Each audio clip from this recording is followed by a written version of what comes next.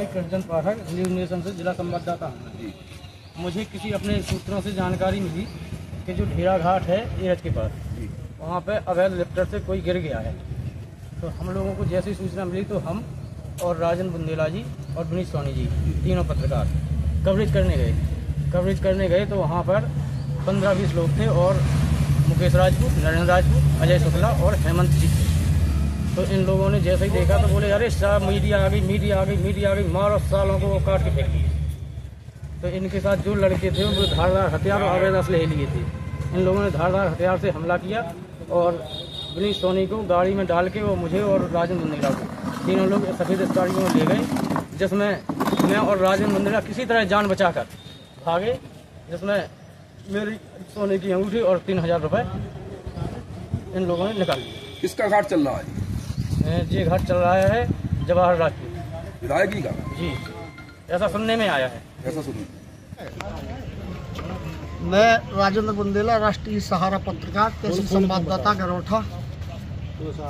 हमको ढेरा घाट के लोगों ने सूचना दी कि अवैध खनन चल रहा है और लिफ्टर द्वारा बालू उठा रहे हैं। तो हम लोग हम एवं हमारे दो साथी साथ में हम लोग कवरेज करने ढेरा घाट पर जा रहे थे तो टोकर के पास कुछ दबंग लोग, नरेंद्र राजपूत एवं उनके अन्य साथियों ने हमें रोक के धारदार हथियार से मारा है और जान से मारने की धमकी दे रहे थे और हमारे साथ हमको मार के तीनों लोगों को स्कॉर्पियो गाड़ी में डाल के मेरा अपहरण करके कहीं बोल रहे थे कि बेतवा बेतवा नदी के पुल से इन लोगों को फेंक दो ये साले मर जाएँगे। तो हम लोगों ने, हमारे साथ ही जो पप्पू पाठक हैं हम दोनों लोग करीब तीस की स्पीड में गाड़ी से स्कॉर्पियो से कूद के अपनी जान बचा के बचे भागे हैं और हमको बहुत ज़ोर बहुत ज़्यादा मारा है और उनके साथ करीब मारने वाले पंद्रह लोग थे।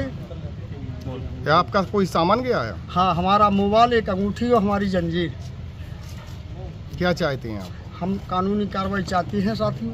अगर हमारे साथ न्याय नहीं होगा तो हम लोग गरौठा तहसील में जाके सभी पत्रकार अनशन करेंगे धरना पर बैठेंगे। अगर और न्याय नहीं होता है तो मैं पाँच दिन के अंदर अंदर अपनी आत्महत्या करने का ऐलान कर रहे हैं।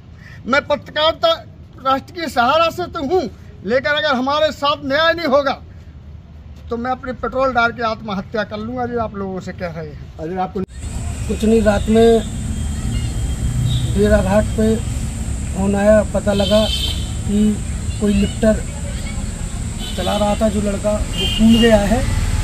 तो उसकी सूचना मिलते ही हम तीन पत्रकार वहाँ गए कवरेज करने के लिए, जहाँ पर गाड़ी रोक के हम लोगों के साथ मारपीट की गई।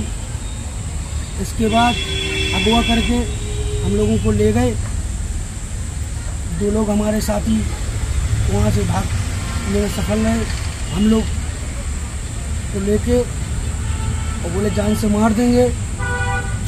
और हमारी क्या है तुम्हारे पास? तो हमारी जो जंजीर थी वो छीन ली और तीन हज़ार रुपये जो थे वो ले लिए लगभग। और अगर कोई पुलिस केस किया तो साले जान से मरवा दूँगा धमकी देते हुए।